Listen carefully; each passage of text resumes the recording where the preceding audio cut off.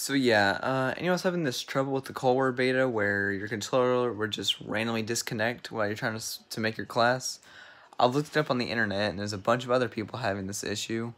Uh, as you can see right now, I got I got kicked out of a match.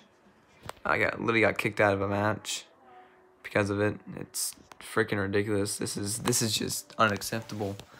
I know it's a beta, but I mean this is just this is just freaking pathetic. Is pathetic from Treyarch trying to see. I I expect a game to at least be able to function, even if it's just a beta. I expect it to at least function properly, at least six into where I can actually play the freaking thing. Because as you can tell here, watch, watch this. I'll try and turn it on.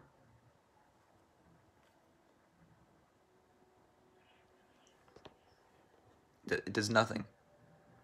It will literally just sit like that. And even if I try to like plug it in, here.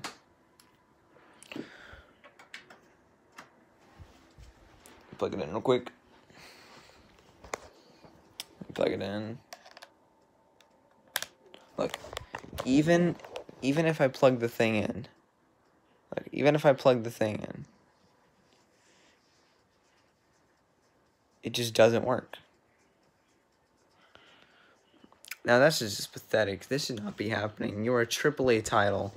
I said there's you know be some bugs like you know oh you know I can slide a little bit faster than other people, or oh my game crashed, but this is literally it literally shuts off. You can't even turn it on. You literally have to unplug your PS4, and then plug it back in. Now that's just pathetic. And even if you do that, it'll still sometimes happen other times, and it's only happened to it's happening to a bunch of other PS4 players.